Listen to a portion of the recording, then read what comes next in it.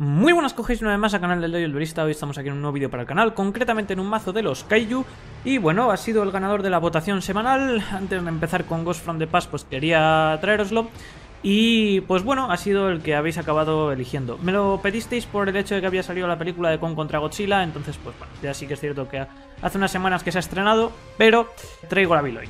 El mazo es bastante interesante, he intentado hacer una build pura, ya que tenemos ya la de Crusadia Kaiju y tenemos Grey del Kaiju, que ya las traje en su momento. A día de hoy creo que siguen siendo perfectamente jugables, a lo mejor si hay alguna carta que está tocada en Balist es sustituirla por alguna de las opciones, pero siguen siendo muy funcionales. Así que he intentado traer una build puro Kaiju, o puro entre comillas, pero sí que es cierto vamos a jugar algunas cosas. Me ha costado bastante hacer la build porque sí que es cierto que el arquetipo de los kaiju es un arquetipo que funciona muchísimo más como un engine de control, para seideo y estas cosas más que lo que sería un mazo en sí. Entonces, pues la verdad es que sí que es cierto que la build, pues hasta que he conseguido algo que me ha resultado interesante, he tardado un poquito en llegar a ello. ¿Cómo he conseguido esta build realmente? Pues he estado analizando bastante el arquetipo en sí y pues he intentado Mm, superar las dos flaquezas que presenta el propio arquetipo. He intentado pues jugar alrededor de ellas. ¿Qué dos flaquezas tiene el arquetipo? Para empezar es un hardware second. Esto implica que si no vas segundo... Porque el mazo de Kaiju depende de que el oponente obviamente tenga algún monstruo en el campo, entonces es bastante complicado que en ese caso de que no lo tengas pues no salgas mal parado. Y para continuar, el otro problema que presenta el arquetipo, y es un problema también bastante grande, es que los Kaiju funcionan, o sea, tienen efectos basándose en los contadores que tienes en el campo, ¿vale? Entonces, quitando contadores del campo, pueden aplicar un efecto. Hay algunos kaijus que presentan unos efectos bastante mediocres, como son por ejemplo el Raiden, que simplemente te planta una ficha, o como es por ejemplo este que estamos viendo ahora, el Thunder King, que simplemente hace tres ataques y ya está. Pues sí que es cierto que hay otros kaijus que son bastante molestos, como es Comungus, que por ejemplo puede limitarte a una invocación especial, o por ejemplo Gameciel, que es un negador muy bueno. Esto implica que si le pones esos kaijus al oponente, y hay contadores en el campo, él puede utilizar esos efectos en tu contra. Y esto es un efecto que es bastante perjudicial. Entonces, he intentado enfocar la build tanto en solucionar el problema de ir segundo, como en evitar este problema con los efectos. Y al final, pues, he dado con una build que sí que es cierto, eso ya os lo adelanto, es un poquito cara, un poquito bastante, pero mucho más funcional de lo que me pensaba para ser un Kaiju. Pero antes de comenzar con la build, recordaros que abajo en la descripción tendréis el enlace a miembros premium por si queréis apoyar el canal económicamente y el botón de unirse al de suscripción que cumple con la misma función. Comenzando con la build, pues bueno, vamos a analizar un poquito esta build de los Kaiju. Para empezar, vamos a llevar del apartado de los Kaiju, triple del Jizukiru junto con uno del Thunder King. Vamos a llevar estos porque son los que más ataque tienen, el 3300, y vamos a llevarlos en este ratio por una sencilla razón. El Jizukiru tiene un efecto de control muy interesante, entonces nos va a gustar plantarlo en nuestro campo para tener ese control y esa capacidad de OTK. Y este Thunder King está bien, ya que quitando tres contadores puede realizar tres ataques a monstruos del oponente, entonces puede venirnos bien para hacer un OTK, aunque sí que es cierto que en caso de tener que dejarle uno de estos poderosos al oponente te interesa más dejarle el Thunder King porque no le puede sacar mucho provecho. Muchas veces suelo bajar este simplemente para rematar al oponente cuando sé que puedo hacerlo, pero la mayor parte de las veces me dejo el Jizukiru por el efecto de control. Poco más. Llevaremos también uno del Dogoran. Dogoran es el de 3000, no está nada mal ofensivamente, y luego el efecto que tiene también está bastante bien, ya que quitando contadores remueve los monstruos del campo del oponente, entonces puede ser un efecto muy muy interesante. Es un efecto de destrucción, ¿vale? O sea, destruye todos los monstruos del oponente, como una especie de Raigeki. Entonces es bastante interesante. El problema que tiene este Dogoran es que plantarlo al oponente puede ser muy arriesgado. Sí que es cierto que dentro de esta build, como ya os comento, ese efecto, ya lo veremos después, lo paliamos, es decir, evitamos que nos pueda activar los efectos de los Kaiju para que no nos moleste, pero mm, no es uno que suele dar al oponente como tal. Llevaremos también triple de Gadarla. Gadarla no está mal, la representación de Mothra en este arquetipo y uno de mis Kaijus favoritos. Y la verdad es que bastante bueno. El efecto que tiene ayuda muchísimo al OTK. Sí que es cierto que es una carta que vamos a plantarle mucho al oponente, ya que sí que es cierto que en tema de ataque 2700 no está mal, pero su efecto no es tan tan bueno, pero puede ser bastante molesto. Ya que el efecto que tiene es que parte a la mitad el ataque de todos los monstruos en el campo excepto el suyo quitando tres contadores. Entonces, como lo puede hacer también el turno del oponente, el oponente nos lo puede jugar en nuestra contra para evitarnos un OTK. Y eso puede ser algo molesto. Sí que es cierto que no es tan molesto, quizás, como el hecho de que, bueno, nos pueda barrar el campo y demás. Pero puede ser una carta algo peligrosa. Aún así, es bastante interesante. Muchas veces lo sueles bajar tú, precisamente para ese efecto de... para poder hacer el OTK, y no está nada mal. Llevaremos doble del Gameciel, lo que sería Gamera, pues bastante interesante y la verdad una carta que se puede jugar también mucho, se juega mucho dentro y fuera de cualquier mazo Kaiju. ¿Para qué sirve esta carta? Bueno, para empezar es el Kaiju más débil en tema de ataque. Su estadística de ataque es de 2200 y eso le hace muy muy frágil, por lo cual está bastante bien para plantárselo al oponente, y ojo, cuidado, ¿eh? sí que es cierto que hay que plantarlo con cabeza, pero para plantárselo al oponente para poder hacerle un OTK. Esto está bastante bien. Para continuar, su efecto de control es muy bueno. Entonces, te lo puedes incluso plantar a ti mismo dependiendo de lo que tenga el oponente en campo. ¿Por qué? Porque es un negador. Quitando dos contadores, cuando el oponente activa una carta de efecto, puedes negar ese efecto de la carta y desterrarla. Y ese efecto es muy interesante. Porque para empezar no es una destrucción, es un destierro y eso es un control muy bueno. Y te sirve como una respuesta para muchísimos efectos. Entonces, esto tenemos que andar con ojo, porque si se lo plantamos al oponente y tenemos contadores de Kaiju en el campo, nos puede activar este efecto en contra. Sí que es cierto que podemos responder a él, pero es bastante peligroso. Y sobre todo, es muy bueno, pero a la vez muy peligroso porque no es un efecto de once per turn. Es decir, cuando el oponente activa un efecto o una carta, puedes activar este efecto siempre que haya contadores Kaiju. Lo que implica que si tú tienes, por ejemplo, 5 contadores en el campo, el oponente puede llegar a negarte dos efectos. Y esto es muy, muy peligroso. Por eso os comento que es una buena carta para plantarla al oponente, pero hay que andarse con mucho ojo. Vamos a llevar después doble del Radiant de Multidimensional Kaiju. Este quizás es el que más le invocas al oponente. Es interesante también para ti porque es un generador de fichas, te pone una token, entonces no está mal para poder hacer algún link y tal. Pero es muy bueno sobre todo cuando tienes al Thunder King en mano, porque lo que puedes hacer es plantarle ese Raiden al oponente y si activa el efecto tiene dos monstruos, por lo cual con el Thunder King puedes pegar hasta tres veces. Lo cual pues bueno, no está mal para poder hacer un OTK más fácilmente. Llevamos dos porque precisamente por eso es interesante para plantártelo tú en tu campo y poder poner las fichas y hacer link y demás, sino para plantárselo al oponente y simplemente hacerlo un OTK. Entonces es bastante más seguro de jugar. Y por último vamos a llevar un Comungus, el segundo de los Kaijus más débiles, pero sí que es cierto que con un efecto también bastante interesante.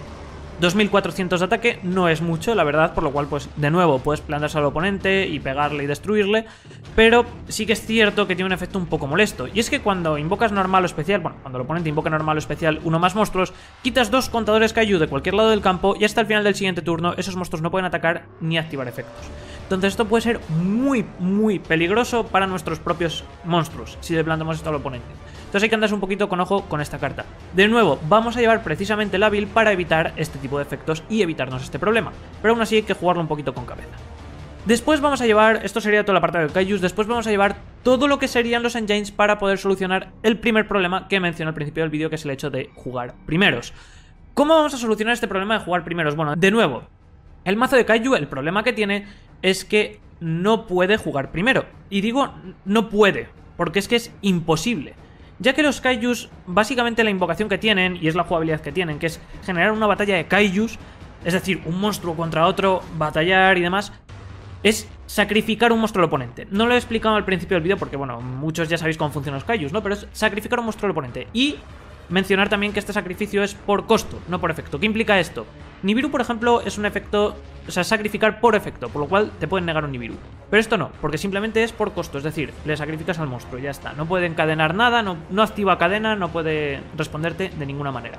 Entonces está bastante bien precisamente por eso. Lo que puede hacer es responderte a su invocación. Es decir, cuando ya se ha invocado, pues puede negarte la invocación o puede tirarte un botonless, cualquier tipo de cosa del estilo. Pero si no, no. Y el hecho es que este... O sea, no se puede negar este efecto, quiero decir.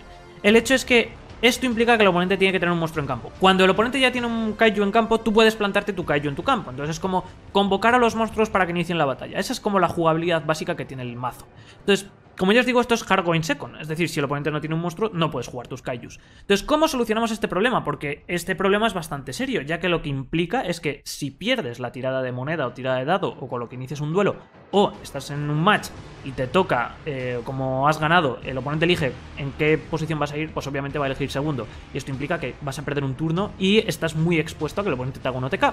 Por lo cual, para solucionar este problema, la mejor manera que se me ha ocurrido y la verdad la más sólida que he encontrado es Dragón. Es cierto, es una carta muy cara, pero es que le da una potencia brutal al mazo para precisamente eso. Ir primero y suplir el problema que nos presentan los Kaijus de que nos puedan activar algo cuando tengamos los contadores. Entonces, Dragoon es que es lo mejor que puedes jugar dentro del mazo. ¿Por qué?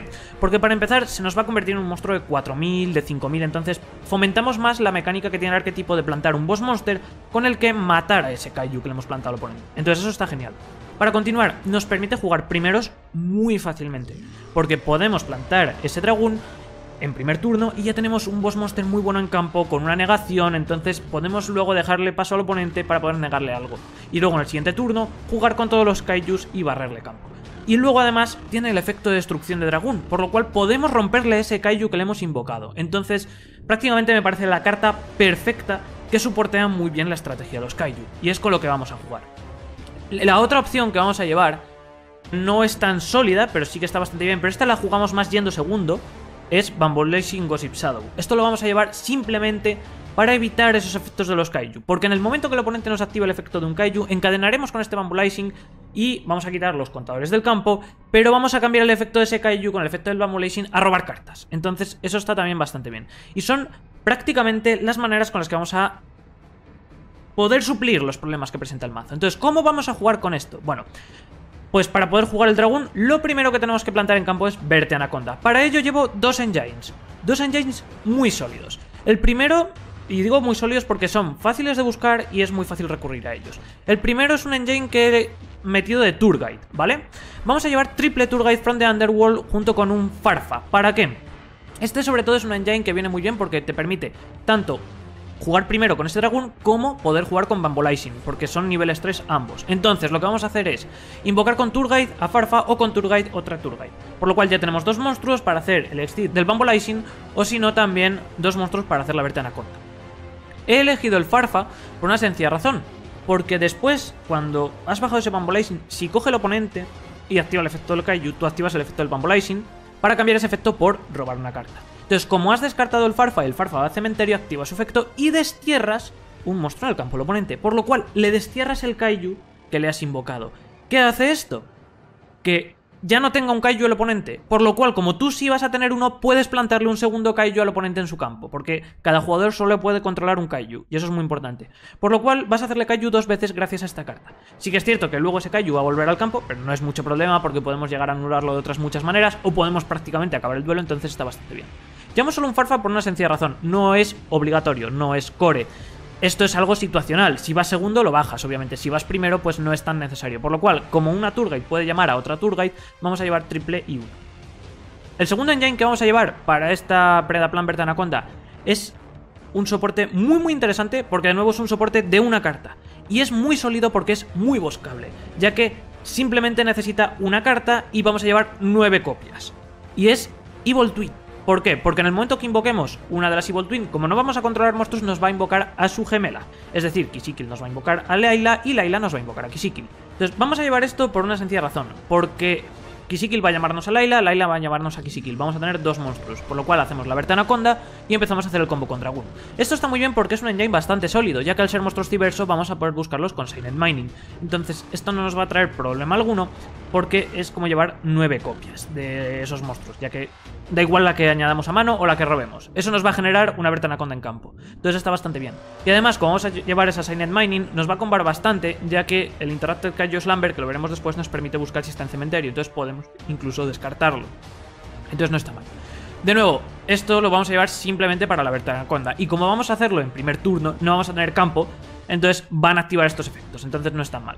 Vamos a jugarlos para eso. Después vamos a llevar triple As Blossom Joe's Sprint como hand trap simplemente para controlar y por último el Red Eyes Black Dragon y el Dark Magician para la invocación del dragón. Poco más. En el apartado de cartas mágicas, para empezar vamos a llevar triple Interrupted Kaiju Slumber, una carta bestial dentro del mazo, pero que sí que es cierto que es muy frágil. El efecto que tiene es un efecto de Dark Hole, es decir, barremos ambos campos para luego invocar un Kaiju en cada lado del campo, uno en el del oponente y otro en el tuyo. Entonces es como que iniciamos esa batalla. Este efecto está muy bien, pero sí que es cierto que es muy peligroso porque como te permite invocar y además por su segundo efecto te permite buscar, puedes tirarle as a esta carta. Entonces el oponente obviamente nos la puede negar. Para ello pues vamos a llevar cartas como por ejemplo ese Bamboo Slicing Gossip Shadow que obviamente pues puedes activar ese efecto del Bamboo Slicing y cambias el efecto de la Hantra para robar. Entonces evitas que te tiren una as a este Interrupted Kaiju Slumber. Luego si no con el By the Grave también es la otra opción. El segundo efecto que tiene, y es muy interesante, es que cuando está en el cementerio, excepto el turno que lo has mandado allí, puedes desterrarla para añadirte del deck a mano un monstruo Kaiju, por lo cual nos está buscando un Kaiju para poder luego hacer todo el combo con el oponente, de quitarle uno de sus monstruos, hacer las negaciones y demás. Entonces es una carta bastante buena. Y ahora después triple litoral Kyoto. Kyoto Waterfront es la carta más rota que tiene el arquetipo de Kaiju. Es una carta que es absurda y es la carta de campo y es core para el, deck. ¿Por qué? Cada vez que una carta es mandada del campo al cementerio, ya sea monstruo, mágica o trampa, te pone un contador Kaiju. Cuando tienes hasta un máximo de 5, cuando tienes 3 o más contadores, te puedes añadir un Kaiju del deck a la mano, entonces es un buscador genérico. Y si te la van a destruir, quitas un contador Kaiju. Esto está muy bien porque siempre y cuando tenga un contador, esta carta va a ser indestructible.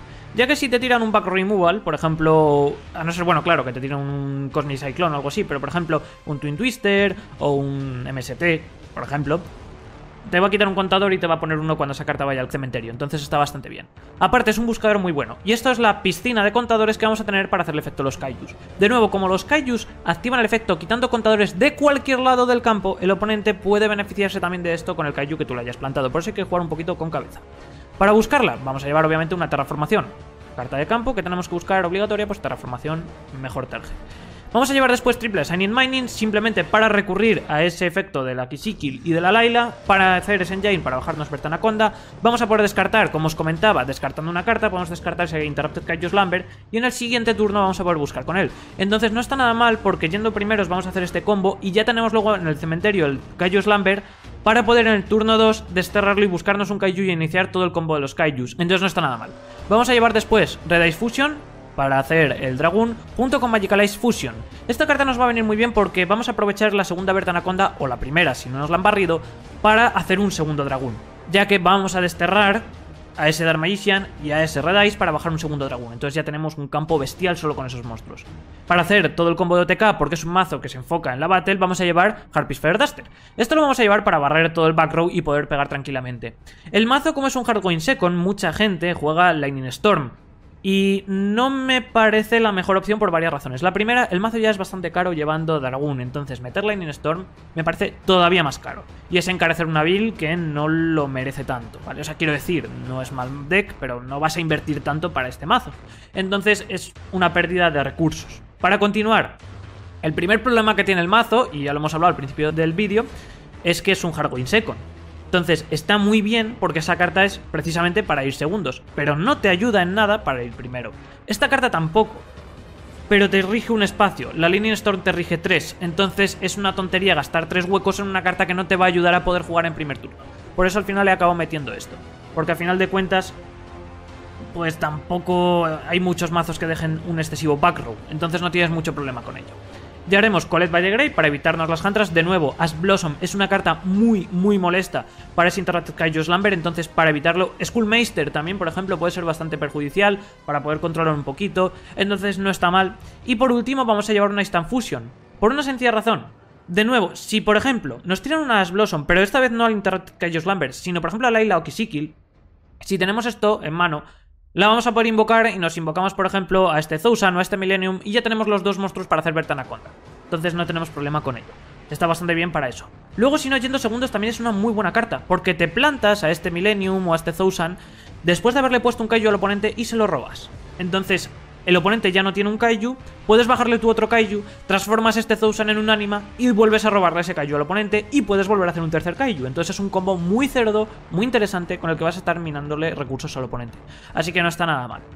Después, en el apartado del extra, vamos a llevar de primeras doble dragón, indispensable. Como ya os digo, vamos a jugar dos por la sencilla razón de que uno lo vamos a jugar con la Radius Fusion, el segundo con la Magical Eyes.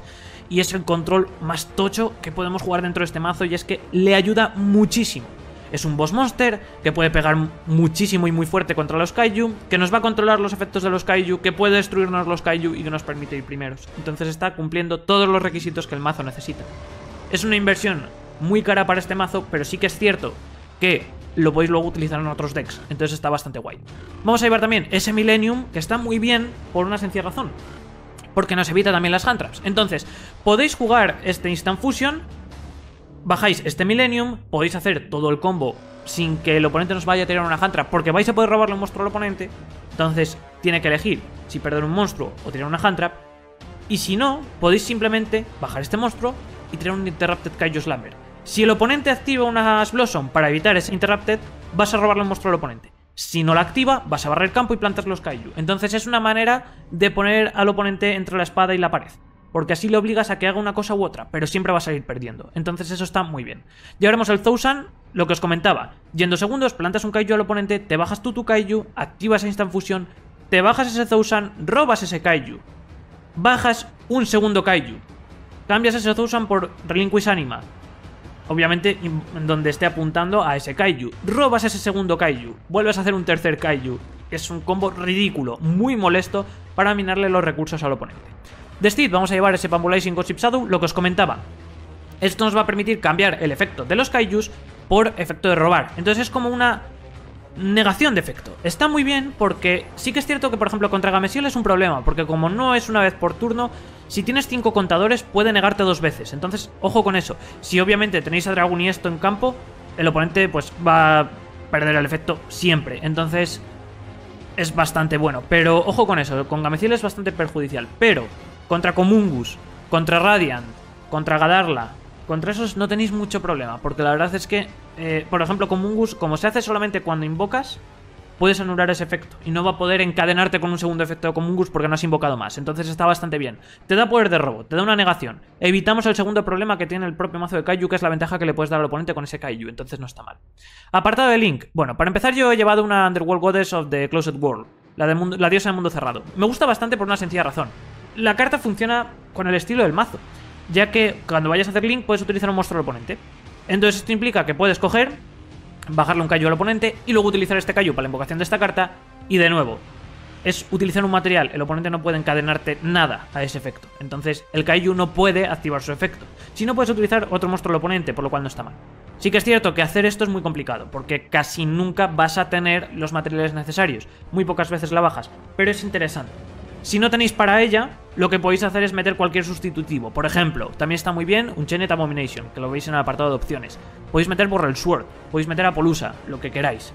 Pero yo he preferido esto porque va con la mecánica del deck. De nuevo, hay muy pocas veces que la bajes, pero a veces está graciosa. Después, como es un mazo que se enfoca mucho en la Battle, vamos a fortalecer esa mecánica con un Meg Knight Plus Diabra Max. Lo vamos a bajar de nuevo muy pocas veces, pero cuando cae está muy bien, y lo vamos a utilizar para barrer ese Kaiju al oponente, poco más. Vamos a llevar también un Black Luster Soldiers de aquellos, de nuevo, también muy caro, pero podéis sustituirlo por lo que queráis. Simplemente es porque como los Kaijus tienen nivel alto, como todos son nivel 7 superior, vamos a fortalecer todavía más esta carta. Entonces, si utilizamos un Kaiju para bajar esto, que lo podéis hacer, por ejemplo, con Turgite Farfa y un Kaiju. Va a tener todo el efecto de control, vais a poder desterrar el Kaiju al oponente, va a tener también su efecto de defensa y el Farfa te permite desterrar, entonces no viene nada mal. El Link 3 se puede llegar a bajar fácilmente dentro del mazo. El Link 4 ya y el 5 ya es cuando traen un poquito más de problema. Pero esta carta viene bastante bien. De nuevo, si no la tenéis, pues podéis meter cualquier otra cosa. Nightmare Unicorn, bastante bueno. Te hace efecto de Compulsory. Le haces Compulsory al Kaiju del oponente. Sí que es cierto que no te lo devuelve a mano, lo barajas al deck. Pero, de nuevo, puedes luego plantarle un segundo Kaiju, entonces no está mal. Vamos a llevar doble Anaconda, indispensable para el combo. Nunca, casi nunca te va a aguantar la primera para luego hacer Magical Ice Fusion para el segundo dragón, entonces te haces la segunda. Está muy bien, te permite jugar primero bajándote ese dragón, poco más. Vamos a llevar una IP masquerena, simplemente porque si no podemos acceder a Anaconda y vamos a dejar más materiales, te puede venir bien para hacer ese Nightmare Unicorn, para hacer, por ejemplo, ese Max, entonces está bien.